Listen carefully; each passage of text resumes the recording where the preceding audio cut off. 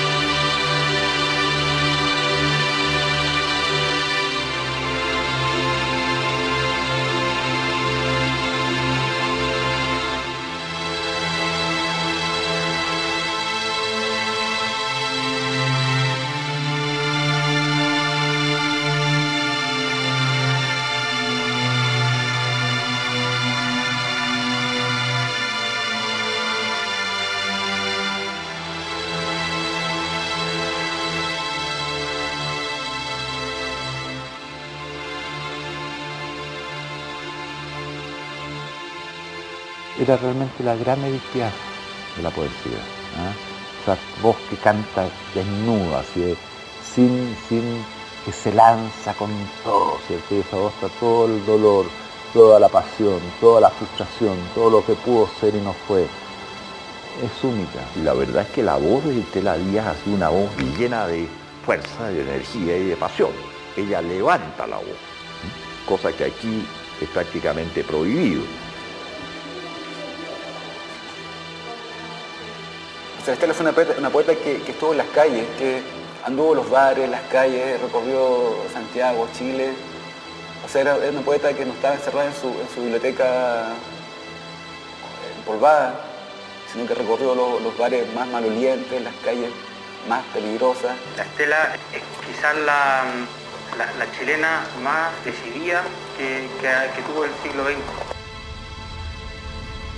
La, la Estela se movía, se movía sola, eh, enferma, no enferma, la edad que tuviera, eh, borracha o no borracha, la conocí igual de punk, entonces me imagino que cuando joven era mucho más rebelde y era mucho más, punk también. Era un ser demasiado delicado, así ella, ¿no? Que solo podía reaccionar con brutalidad frente a la brutalidad de la realidad. Eh, tenía muy buena facha, recha facha, altiva, y ese pelo rojo aleonado que tenía, bueno, no pasaba inadvertida en ninguna parte.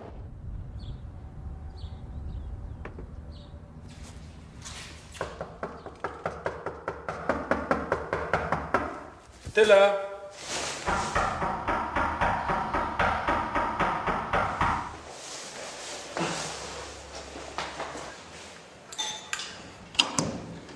Señora, yo la disculpo que la moleste. Quería, quería hacerle una pregunta que la Estela 43 años le corté el pelo. ¿Cómo era el pelo de la Estela? Precioso. ¿Y era colorín largo? Colorín largo, lindo, ondulado, precioso. Cuando fue el golpe, puso Che Guevara, lo puso en la ventana y gritaba, ¡Viva el Partido Comunista! ¡Ay! Y nosotros decíamos, la van a matar. La Estela eh, se peinaba donde la Yola y está ese balcón de segundo piso arriba, es el de la Estela. Y siempre su ventana estaba como media abierta, invierno y verano, día y noche, la ventana abierta. La situación de ella era mala, muy mala. Entonces tenía que siempre estar pidiendo ayuda. Entonces no la quería.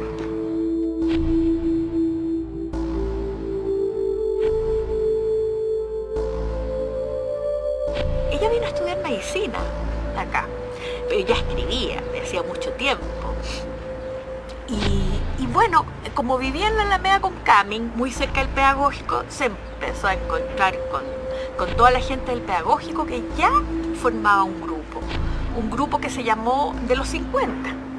que estaba Enrique Lin, est- estaba Enrique Lafourcade, estaba Jodorowsky, y todos muy existencialistas, y todos siguiendo un poco la vida bohemia de lo que se llamaba en ese entonces bohemia. No recuerdo el año exacto, pero la Universidad de Chile declaró a Pablo doctor honoris causa. Y Nicanor Parra le hizo el discurso de recepción a Pablo.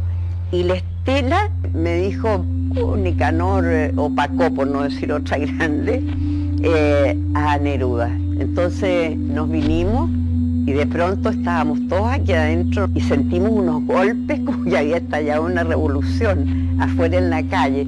Y era la Estela que agarraba piedras, le plantaba un escupo y se las tiró y le rompió como dos o tres ventanas de estas chiquititas que están al lado de la, de la puerta de entrada y en, en la calle. Pablo dijo, tiene que ser la colorina nomás, háganla pasar.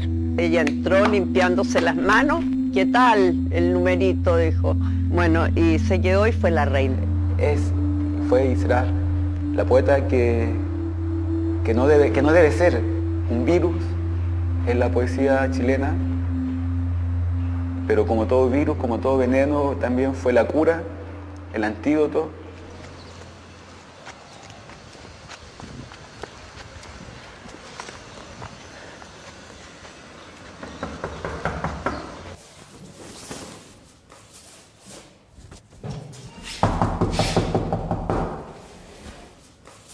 La Estela prefería que la obra y, el- y la escritora fueran lo mismo, fueran unicarne, unimugre, fueran una sola sustancia que estuviera metida en la realidad.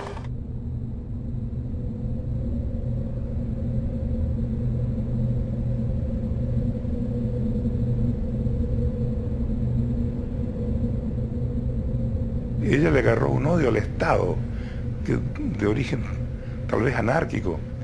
Y hay una memorable entrevista que dio eh, Ricardo Lagos en la Sociedad de Escritores sobre la política cultural que era necesario desarrollar en Chile. Y entonces, desde segundo plano, se oía la voz de Estela que decía, no te creo, no te creo nada. La Estela podía ser muy difícil. Y con esa tremenda voz que tenía. Era el eh, víspera de Año Nuevo del año 2003 para el 2004 y faltaba un poco antes para las 12 y, me encuentro en la calle con Estela, estaba firmada en una baranda de la calle, estaba ahí borracha, sola. Todos estaban felices, todos estaban eh, con la esperanza de, nuevo año, una nueva vida. En cambio, con Estela compartíamos eso, el sentido de la poesía, de que, de que cada poema que se escribe puede ser el último poema que se escribe. Y en el caso de ella entiendo que eso es también su poesía, ese desgarro y ese dolor y ese sufrimiento. Pero creo que podría haberse evitado, que es una maldición latinoamericana o chilena, su impiedad, su indiferencia.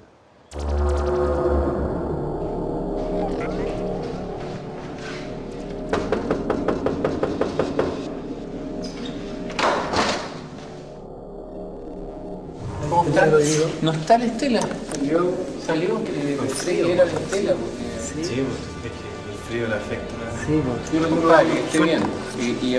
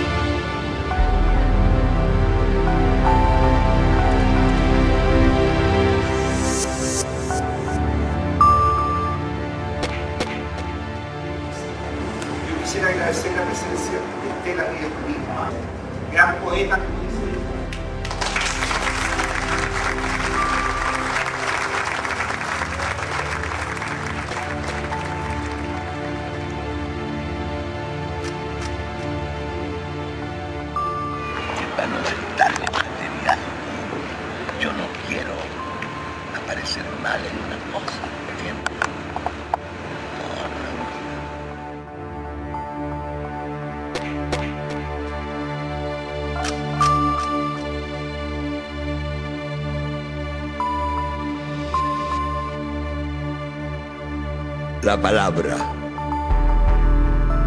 una sola, será mi lucha y mi triunfo. Te sácame la angustia. Encontrar la palabra escondida. Aquella vez de nuestro pacto secreto a pocos días de terminar la infancia. Debes recordar dónde la guardaste. Debiste pronunciarla siquiera una vez. Yo la habría encontrado. Pero tienes razón. Ese era el pacto. Mira cómo está mi casa, desarmada, hoja por hoja mi casa, de pies a cabeza, y mi huerto, dorado permanente, y mis libros, como mi huerto, ojeados hasta el deshilache sin dar con la palabra. Se termina la búsqueda y el tiempo, vencida y condenada, por no hallar la palabra que escondiste.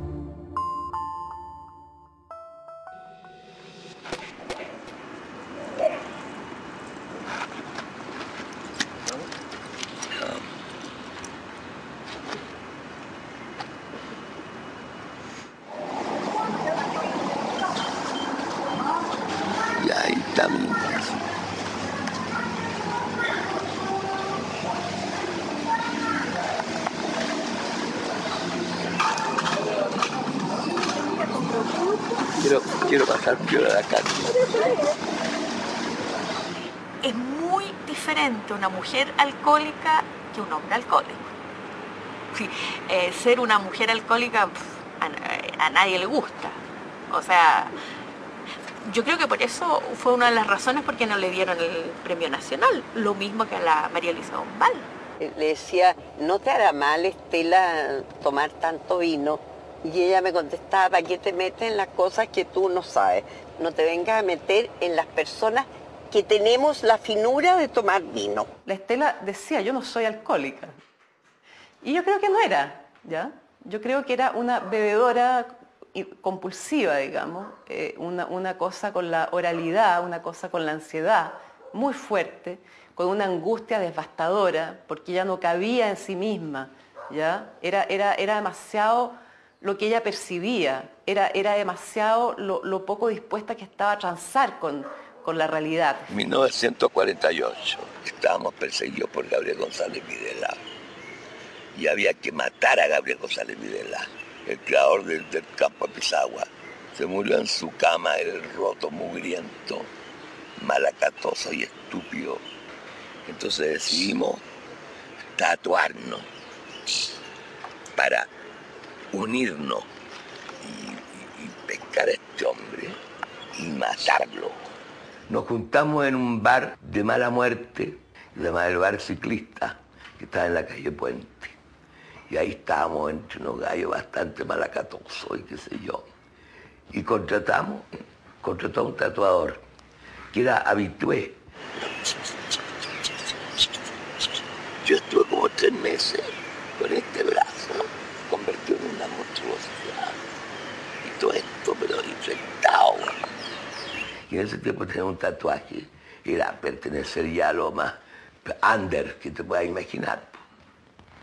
Entonces yo dije, yo, mano izquierda, y aquí está el dibujo, y el tipo lo copió. La Furcade lo tiene, y hace un pelotoncito chico, se lo hizo aquí. Enrique Lin se lo hizo también. Mientras Neruda, porque tú, se está arrancando, ¿no es cierto?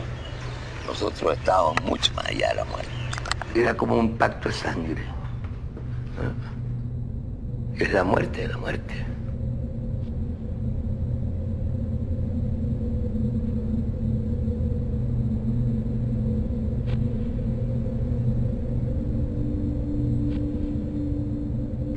Era la muerte muerta, ella, ella entendía que, que aquí el tema, eh, lo que había que vencer era, era la vida, la muerte, o sea, la existencia. No eran- no, no, no, ella no andaba en, en- en el amor, en el, en el odio, era algo distinto, más, más, más crudo. El ser o no ser, el estar vivo o no estar vivo. Era una, era una luchadora buscando las cosas de la realidad más francas, más, más evidentes, dónde había que ser poeta. Sí, bueno, e- ella fue militante en un determinado periodo que parece que no fue muy largo. No, no fue muy largo porque ella en conflicto eh, con, con algunos comunistas, eh, la acusaron de espía, de que ella era amiga de González Videla y que le pasaba el soplo de actividades comunistas del mundo literario. ¿no? La sometieron a un proceso estalinista imbécil. A pesar de que Neruda la apoyó y dijo no sean locos, si la colorina no puede ser espía.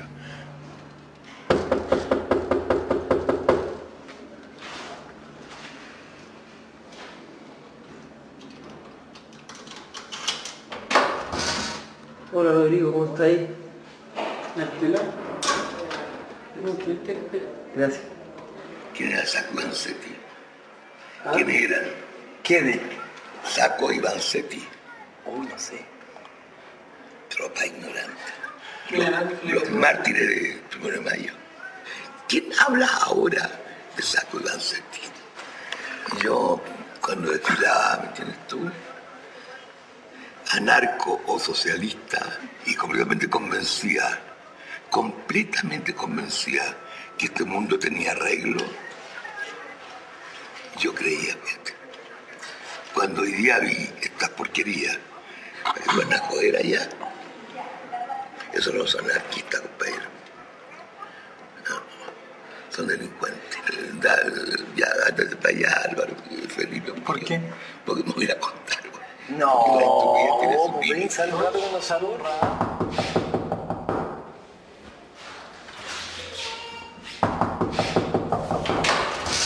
pues ven, límite. saluda que contar otras cosas. ¿Qué? Que nos han pasado, nos han sucedido. Queremos Sí, saber de ti. ¿Y te importa a ti lo que me ha pasado a mí? Por eso mismo, po. Yo estoy bien enfermo. Se perdieron la oportunidad de su vida, chicos. ¿Cuál? De haberme hecho una entrevista alguna vez en la vida. No quiero saber nada de nada. Estuvimos con, con Alejandro. Ah, sí, sí, te dijo. Ahí te queremos contar. Bueno, mira, yo era un joven poeta, eh, que edad tendría 21 años, 20 años, era virgen todavía, se dice casto, virgen, pero andaba con niñitas y muy delicadas y esto, ¿no? Pero de pronto en el café Iris, era un café con, unos focos de luz fluorescente, en- sentado en una mesa había una, mujerota así, con un abrigo de pieles, no sé si era de perro, un gran abrigo de pieles, fumando una pipa, con un pelo rojo que le llegaba creo que hasta las rodillas, y pintada la cara con acuarela, violeta, amarillo, verde, eh, los pies eh, en arco iris pintado y fumando una pipa y, tomándose un- una cerveza. Le pregunté al mozo quién era, me dijeron es una poetisa, eh, boxeadora. ¿Cómo boxeadora? Sí, sí, cuando se emborracha le da un puñetazo a la gente, primero muestra los senos y al que se los quiere tocar le da un puñe- puñetazo que los tira a tres metros porque es campeona, no sé, de, de, de puñetazos, de box, no sé lo que es. Bueno, era un, en esa época no había ni punk, eh, eh, ni hippie, no había nada, ¿no? Y era Chile. Imagínate el personaje con el que me encontré. Me puse a temblar. ¿Cómo me gustó? Yo nunca en mi vida he seguido a una mujer, eh, ni la había, ni he perseguido a nadie, pero esa vez fue la única vez en mi vida que lo hice. La esperé hasta que saliera, se subió una micro, me senté delante, yo sentía su mirada en la nuca, así, y esperé a que se bajara, y a la cuadra siguiente me bajé, y caminé hacia ella, y ella caminó hacia mí, y me vio y me dijo, bueno, me dijo, eh, ¿tienes dinero? Tengo cinco pesos, no era nada. Bueno, invítame una cerveza. Me invitó una cerveza, me leyó un poema increíble, increíble. Digo, acompáñame a mi pensión. Vivía en una pensión, habían carabineros, empleadas, justo al lado del pedagógico. Y nos sentamos en la puerta. Y de pronto sentó a mi lado y ¡zing! me mordió la oreja. Y ahí comenzó nuestra historia. Con Jodorowsky es bien sabido que hubo ahí un, un- un gran amor ya encendido por, por imaginaciones compartidas y admiraciones comunes, pero nunca, nunca, nunca mente, como decía ella, nunca mente llegaron a los hechos, ¿te fijas? Pues el weón tiene, tiene un aura naranja. ¿no? Bueno, entonces nosotros andábamos y éramos los que andaban, los demás no significaban nada. Entonces la gente que caminaba al lado de nosotros se nutría de esta especie de energía. weón. El segundo encuentro fue en el Café Iris, llegué a las 11 de la noche, no llegó, 11 y media me tomé una cerveza, 11 y media no llegó, yo nunca bebo, me tomé una cerveza, 12 no llegó, me tomé una cerveza, 12 y media no llegó, me tomé una cerveza, la una llegó con un tipo así que tenía, yo le encontré cara de boxeador. Yo llevaba de regalo un títere que era un sepulturero. Le lancé el sepulturero a la mesa y le dije, mira, le dije, tú deberías andar con poetas como con Nicanor Parra, porque lo acaba de descubrir en el ProArte, había publicado sus poemas me habían maravillado. La víbora, ¿no? Eh, tú, debías ser como esta mujer del poema y, andar con Parra, no con este tipejo que está aquí. Y el tipo en lugar de enojarse y pegarme se sonreía. Y lo insulté y lo insulté y al cabo de, un rato me dijo, mira, ese poema La víbora, Parra me lo dedicó a mí y este es Parra. Y así conocí a Nicanor Parra. Estuve me hice amigo de Parra. La víbora. Durante largos años estuve condenado a adorar a una mujer despreciable. Sacrificarme por ella. Sufrir humillaciones y burlas sin cuento. Trabajar día y noche para alimentarla y vestirla. A la luz de la luna realizar pequeños robos. So pena de caer en descrédito ante sus ojos fascinantes. Largos años viví prisionero del encanto de aquella mujer. Tráeme un poco de agua, mujer. Consígueme algo de comer en alguna parte. Estoy muerto de hambre. No puedo trabajar más para ti. Todo ha terminado entre nosotros. La víbora de Parra. ¿Ese te lo dedico a ti? Pero yo tengo la- las tarjetas postales de, de Oxford, de Nicanor. Sí. Claro. Suelo ver por las calles algunos indicios de tu persona. Y después este poeta yo, abandonó su lírica, no su- y se dedicó a tonos mayores que no le, no le corresponden, porque va a terminar siendo un fracaso. Y para mí, Parra es un fracaso. Parra es un plagiador de lo que existe día a día. Si eso es un mérito macanudo. Pero a mí no me interesa. Y otra frase que le tiró a Nicanor Parra, Nic- una vez que desapareció Nicanor. Le dijo Nicanor, Nicanor, 30 años de amistad nos separan. Ay, les contó también que estábamos vírgenes. Sí. Sí. No, y lo dice a grito pelado que es su mujer cumbre. Que, sí. Que pucha, que su, su gran furia o su gran deseo de haberse unido conmigo para siempre. Imagínate ese par de locos, oye. Y bueno, y al tercer día me esperó en una mesa y me dijo, ¿cómo te llamas? Alejandro. Sacó una, navaja y se, hizo tres cortes, la A en la mano. Porque tenía unas manitos grasosas, ¿eh? Yo dije, pucha, se me ve la vena a mí y me tengo que hacer una S de Estela, me, voy a herir. Entonces lo único que hice, le di un beso en la mano y me llené de sangre la boca. O era un genio en esa época esta mujer, diferente a todas las mujeres que habían en Chile. A Gabriela Mistral no le llega ni a los tobillos. Pero con Jodorowsky, digamos, los dueños del mundo. En segundo lugar, no me importaba un breo que atracáramos detrás de la puerta de mi casa. No significaba nada. Y se fue, pues. Fue. Ustedes le dijeron que tenía cáncer y todo eso. Me dijeron,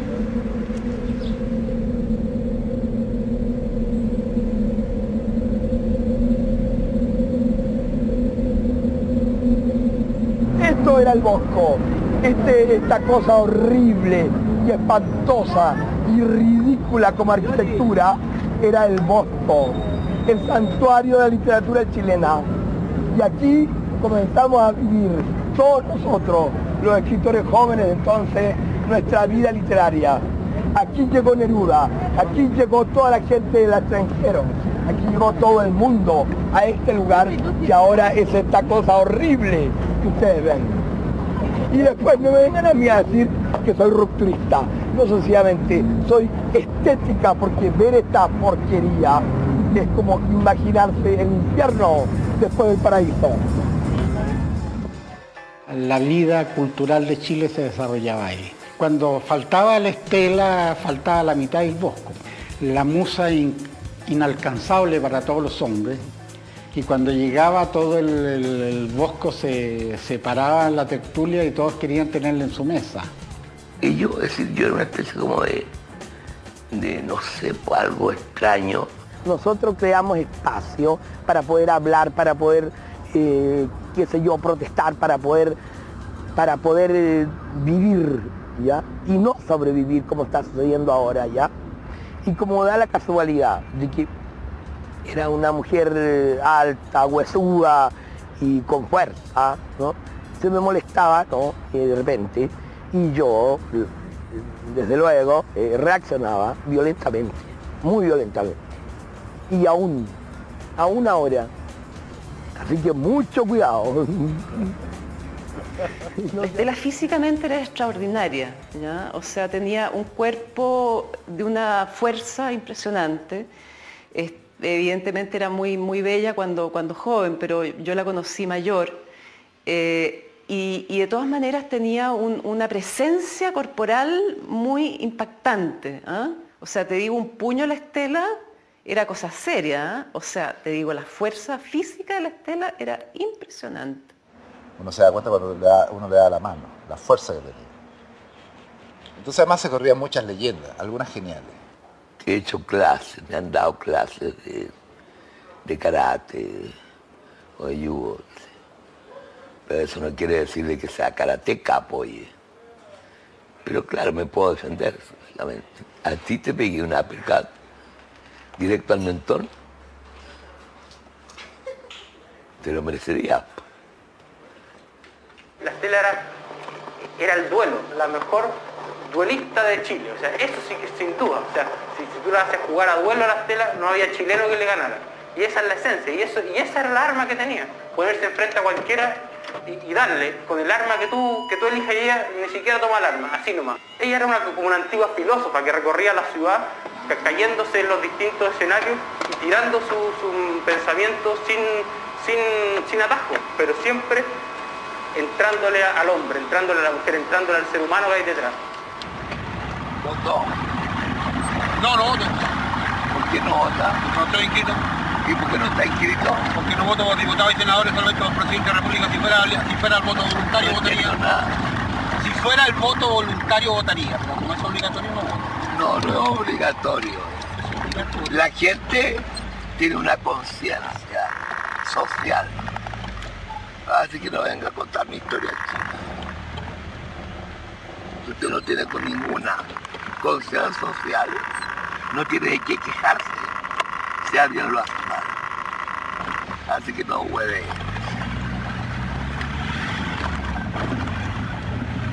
Neruda, cuando cumplió 50 años y se celebró en el aula magna de la Universidad de Chile, Neruda le preguntaron, ¿quién quieres que te recite, que te haga una- una- un poema para ti? Yo quiero que sea la colorina. El día del gran evento, y estaba todo comenzando y la estela no aparecía por ningún lado. De repente viene fumando un cigarro una mujer de un vestido negro esplendoroso, un- una muy linda figura, y ahí eh, subió al estrado a la, a la mesa y, y se largó un poema que mm, dedicado a Pablo Neruda y dice a Pablo y a, a todos los poetas que le anteceden y le suceden. Un hombre caminando sobre el mar, sobre su corazón camina hacia lo adentro, sobrecogiendo al sol con su mirada. Un hombre para quien todas las cosas son parientes lejanos. Su mirada de golfo perdido, su mano derecha de fuego, su boca de la luz que sepulta con una sola de sus palabras. Ah, si encontraréis otros ojos con más lejanía de inconclusa oscuridad.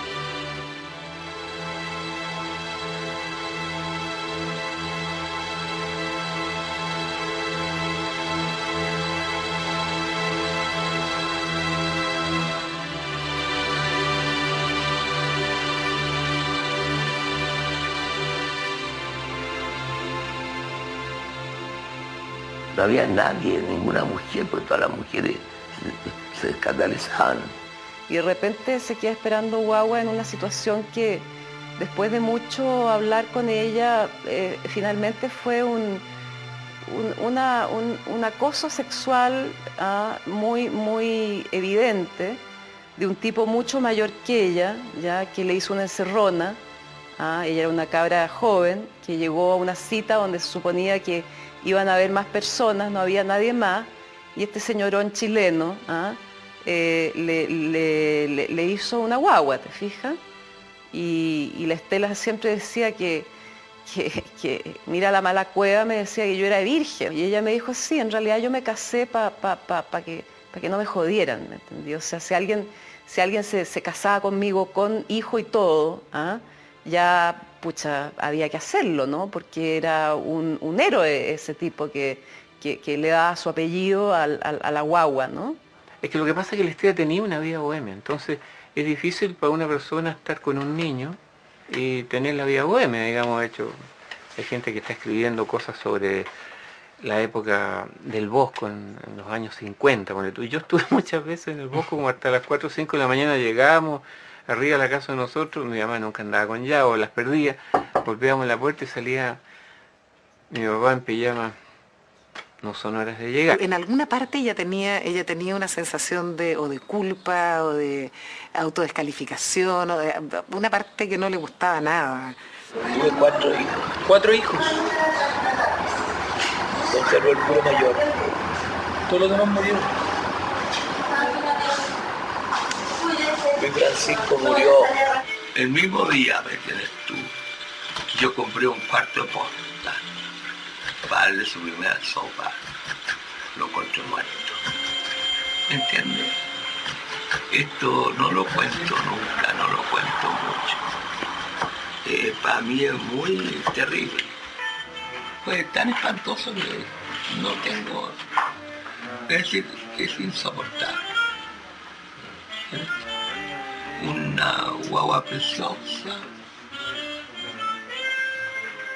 Ahora lo operan. ¿Ah? ¿Qué sé yo? Pero tiempo no, no. Y después dos más.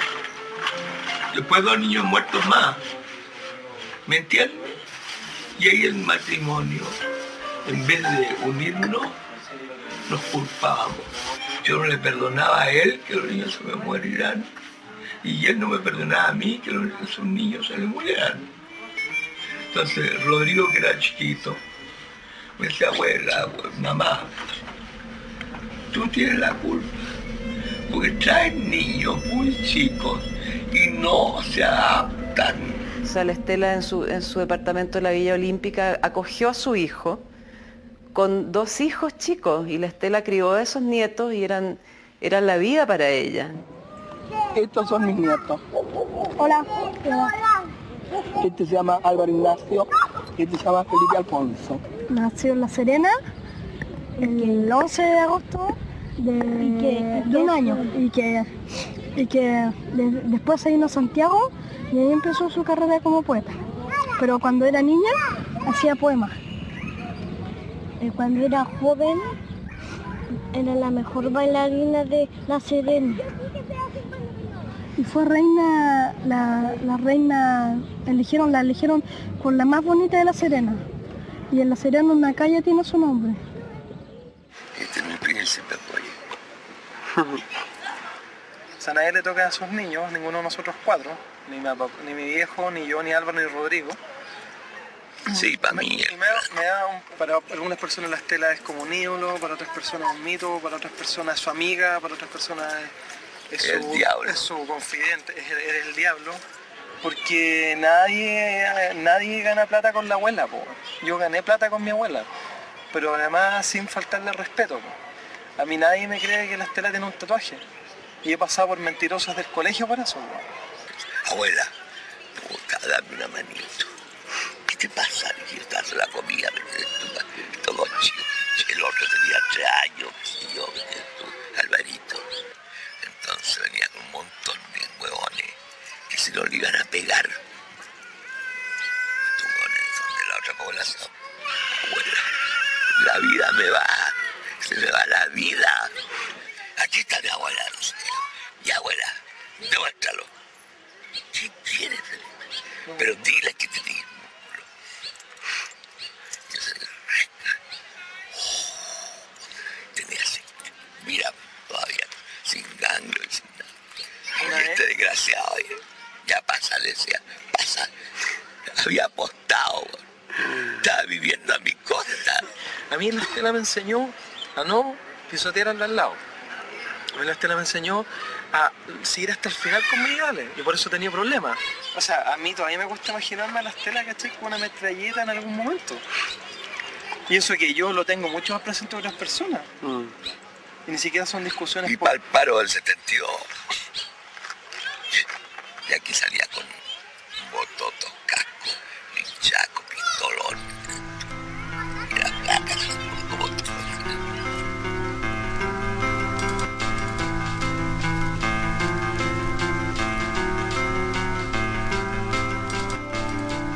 Y me fui caminando entre cadáveres, caminando, caminando, caminando. Cuando de repente veo que viene un auto colorado, chico así, bajan dos gallos y me agarran, me, me tapan la boca y me meten para adentro. Yo dije, bueno, me llegó. ¿Y qué pasaba? Una amiga mía venía arrancando de allá. Me dijo, no hables, no grites, no digas nada, cállate la boca, cállate, por favor, cállate, mataron a todo el mundo. No, fueron, mira, fueron cosas tan insoportables, tan insoportables. Me allanaron NBS y, y ya vi una camioneta parecía la del padre Hurtado, una camioneta verde, parada al frente de mi casa, donde, donde están esos, esos gallos con la verdura. Y uno de los gallos vivía en, el- en la torre, era general. Y siempre esa camioneta, oye, yo estoy hablando cosas bien comprometedoras, y yo no quiero seguir hablando. Ella le sobrevivió a dos declarados dictadores y en la calle. O sea, desde González Miguel hasta Pinochet, ella, e- e- e- ella guapió, siendo, nunca se exilió. Pero quiero saber qué te pasó cuando te agarraron y te llevaron y tuviste el amor y creo me agarraron, me tiraron la camioneta encima. Te atropellaron. No me atropellaron, me mataron. Quedé quebrada hasta la cintura. Quebrada entera. Parecía osobuco para cazuela.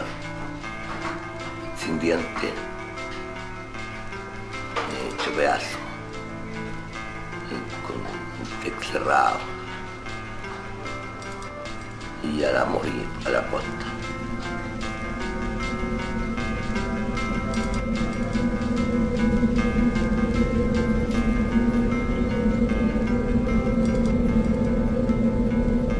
por, por ahí por el cuarto allanamiento que yo tuve en mi casa.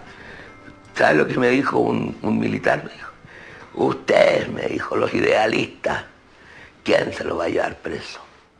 Y en realidad eso éramos, unos idealistas. Y yo sigo creyendo, y sigo siendo un pobre, un pobre diablo idealista. Porque yo creo que mientras un hombre o un niño se muera de hambre en este mundo, yo voy a continuar siendo lo que soy. La Furcade escribió en el Mercurio varias cosas contra mí, de que yo era una muñeca rusa, de que yo bailaría las mesas, de que yo era como un hacha, de que no sabía por qué todavía yo estaba suelta. Entonces tú comprendes que en ese tiempo ser un delator era ser un asesino. Un día llega a la ciudad de escritores flanqueado por el Canario Reyes, que era un boxeador. Entonces le dije, mira roto, le mugriento. Cuando salga de la sala de sesiones te voy a pegar. Y el tipo, ¿me entiendes? Esto empieza a tiritar como loco. Y sale a furcar. Le dije, ¿dónde vas? Yo te dije, te estaba esperando. Y Carlos Reyes me dijo, yo me voy, me dijo. ¿Pero cómo? Le digo, pues si tú lo vienes escoltando, si tú lo estás defendiendo. Ah, no, me dijo, yo me voy, yo me voy. Y lo pesqué. Le dije, nunca más vuelvas a escribir de mí en el Mercurio.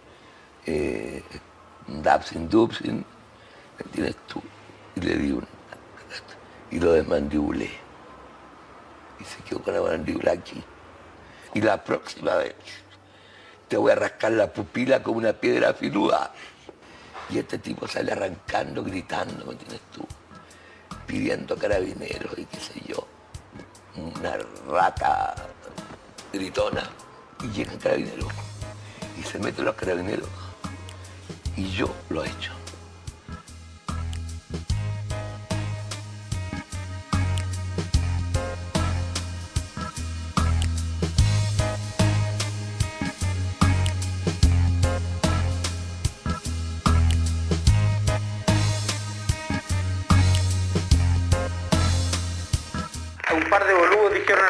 Se dedicaba a pegar combos. Yo les diría que se dieran cuenta que una mujer, a propósito del femicidio, se defendía y sin armas.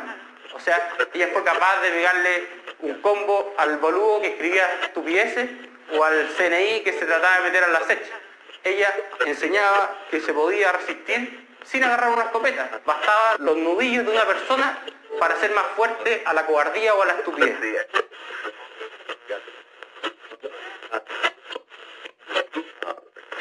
Y, y hoy día uno compite con la tele. Y, y la, y la tela competía con la tele, entonces co- competir con la teleserie de la tarde eh, en la plaza con, con Pantera, yo creo que es muy loable. Y, y ese perro es Pantera, que era un perro que la Estela le hacía así, lo convocaba y, él, y según ella el perro le obedecía y le entendía todo lo que hablaba. ¿te fijas? Ahí está sentada ella en su banco. Pantera, venga.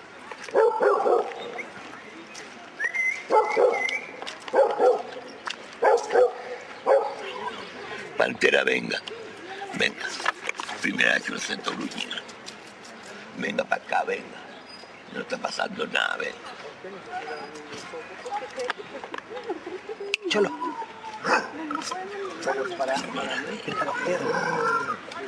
Venga, venga. Ya, Ah, ah, no.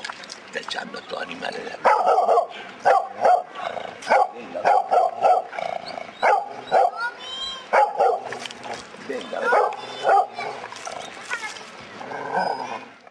Y ahí pasa algo muy, muy impresionante, que fue que eh, fue tardíamente, tardíamente al consultorio Rosita Renar, ¿ya?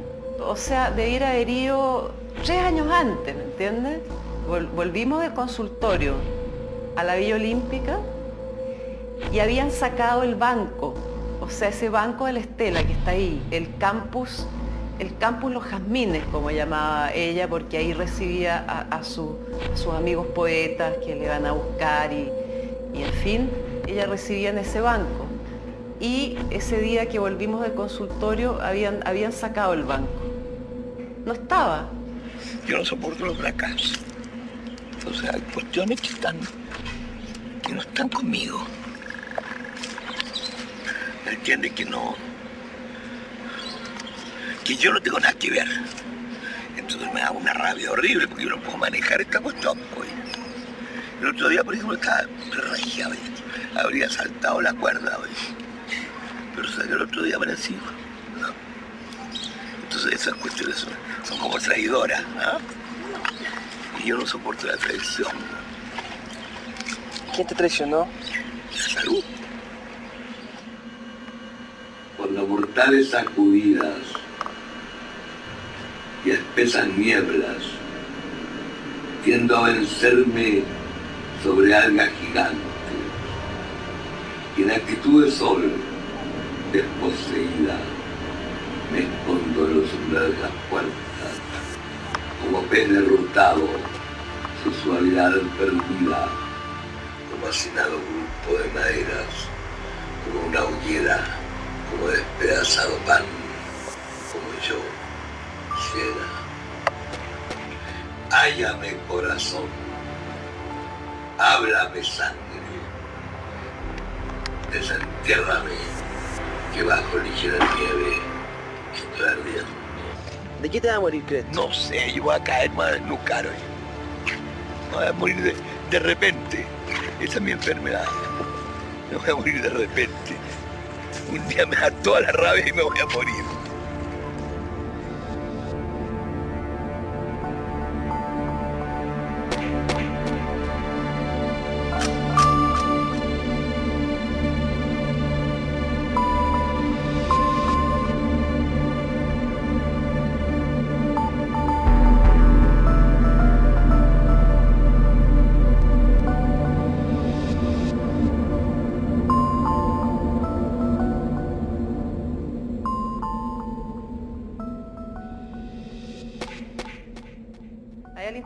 Las cabezas de las personas.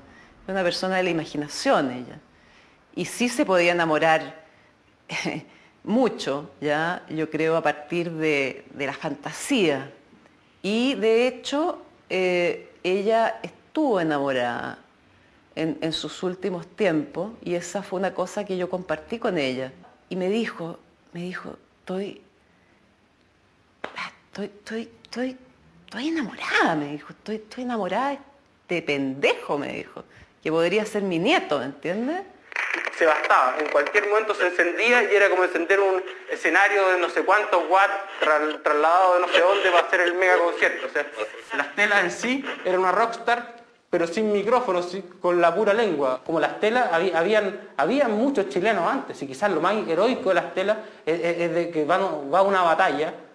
Chile fue, tuvo una batalla, y en esa batalla ca- cayeron muchos muertos, y, los que quedaron vivos se cambiaron de batalla, se fueron de, se fueron de la guerra. Ella demostraba que, que- que- la utopía de ser ser humano hoy está vigente. Tiene que ver con, con- con la guerrera que no ha bajado la- nada, no ha bajado el arma, no ha bajado la espada, sigue, sigue altanera y sigue pensando en, en la victoria. ¿Cómo imagináis tu funeral? Un cajón negro de álamo, que es lo más barato. Y a la cosa común se ha dicho. bueno, si no tengo previsión.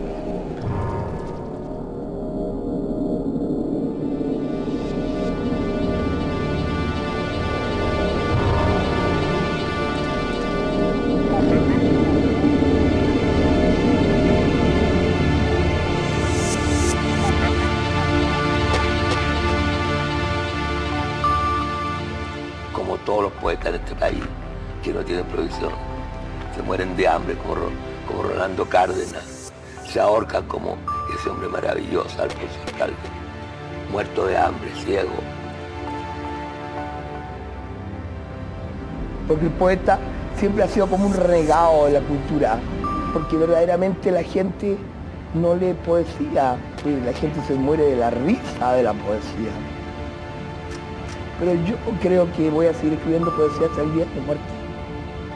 Y no voy a ganar ni un peso con eso. Ni voy a tener ni siquiera para pagar la olla, ¿ah? ni siquiera para tener una vejez eh, decorosa.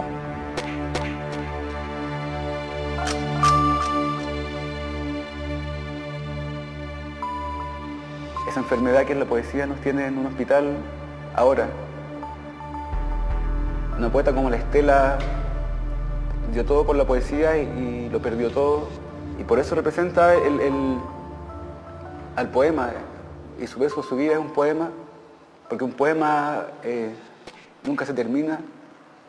Un poema re- representa eh, el fracaso de la página en blanco. La página en blanco es el mejor poema, el poema perfecto.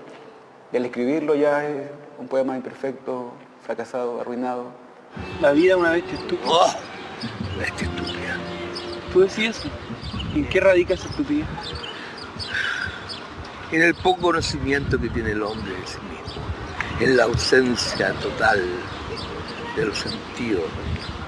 Y yo creo en estas estúpidas religiones, ¿me entiendes tú? Que han servido bastante ¿ah? Para que el pobre diablo que sabe que se va a morir igual no se ande suicidando cada cinco minutos. Este tipo completamente fabuloso, yo lo encuentro y al colmo de los colmos. Este parapléjico hueón Y el hop. Y el metido, tú sigue peleando, ¿entiendes tú? A pesar de tú, y sigue peleando, y no. Increíble, amor. Porque él sabe, ¿me entiendes tú? Eh, él no sabe que colige, sino que sabe que este es un plan. Y él es producto de un plan. La millonésima parte, como te digo, de un grano de arena. Eso era lo, lo terrorista de las telas y por eso que, que le tenían miedo. Porque los que nos enseñan que, que- que siempre nos falta un poco para ser felices, que sigamos haciéndolo, porque si estamos como esclavos eh, unos, unos 100 años más, nos van a dar lo que justito nos está faltando. La decía, pero ¿para qué chucha? Si ya lo, lo tienes, te sobra. Mira, aquí, acá y acá está eso que tú buscabas.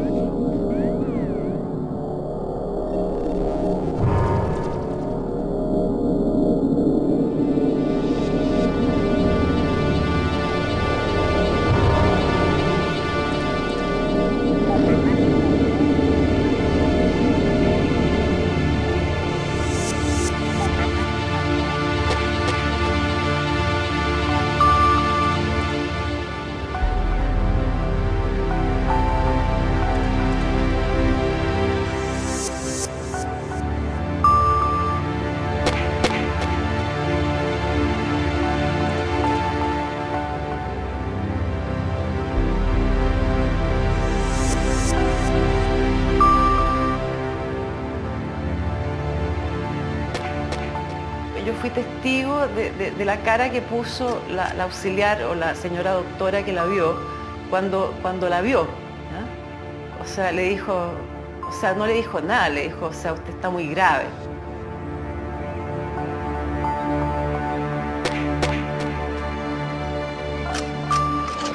Hola, mira cómo te acuerdo. Ya a las tres tengo horas, pero te voy a hablar aquí una cosa. Y me duele, pa, no te puedo decir, compadre. Me va a volverse loca, compa. Levantar su cabeza hace matarse al tiro que ¿Sí? Es increíble, nunca en mi vida sentí un dolor. ¿Vale? El.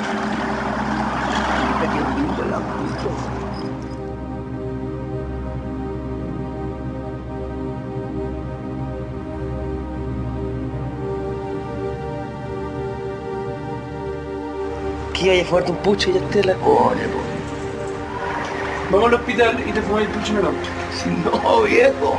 ¿Cómo que no? Si, si crees que voy a salir de ahí, que es la última vez que me ven. ¿Tú crees que voy a salir del hospital? No, viejo. ¿cómo?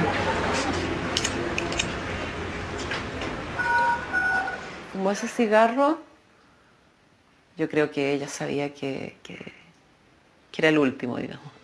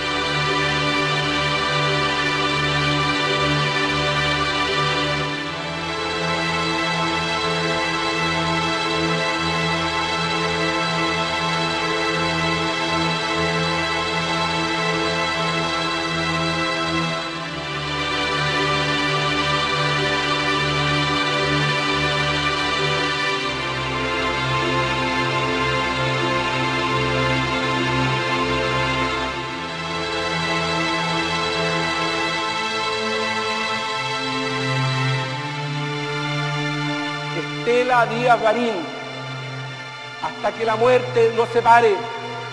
Estela Díaz Barín, hasta que la muerte nos separe. Estela Díaz Barín, hasta que la muerte nos separe.